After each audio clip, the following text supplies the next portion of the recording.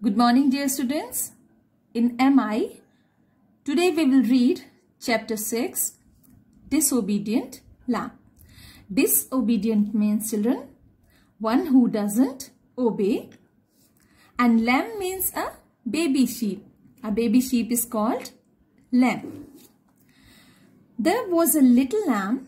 His mother told him before leaving the house not to go out of the house. See, this story is all about a little lamb. So, when his mother was leaving the house, she told him not to go out of the house. She said, there are cunning fox. Cunning means clever. A tiger and a wicked jackal. Wicked means somebody who is bad. So, jackal was very wicked around and they will kill you. The lamb was feeling lonely at home. One day, when his mother went out for some work, he was at home alone. So, he was feeling lonely and he said to himself, I will be careful.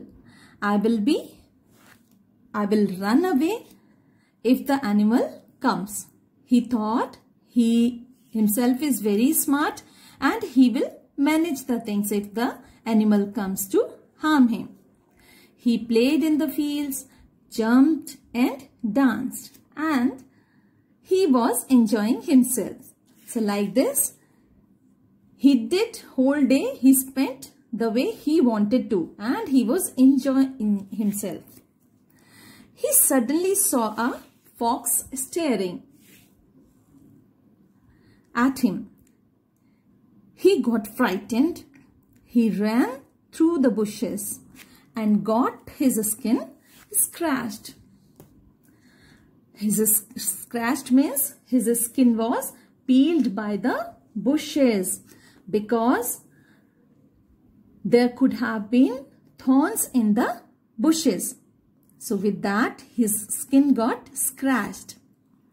After a while, he stopped to look back. There was no fox, but till now, the lamb had lost his way. He lost his way means he forgot the way back home and he then started crying. Now see children, what his mother had warned him about had finally come true. It was only a matter of chance children that he was still safe and the fox did not eat it up. You remember here children that he thought he was smart enough to save himself but now he was in trouble. You know why? Just because he was disobedient to his mother. Then let's see what happened. Mother sheep, when returned, could not find the little lamb at home. She was worried. She searched for him and after a long time found him crying in the bushes.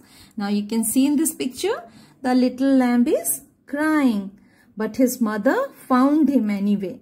When she came back home, she did not find him and she was worried because she was the mother. And she searched for him everywhere but he did not find him. So she started looking for him and lastly she found him crying in the bushes. She brought him back and make him promise that he would always obey his parents. Then at the last, mother took promise from him that he will always obey to his parents. Now children, we must always obey our parents and teachers. What is obedience children? Obedience is listening to your parents and teachers and doing what they want you to do. Children, your elders are much more experienced than you are. And they know a lot more than you.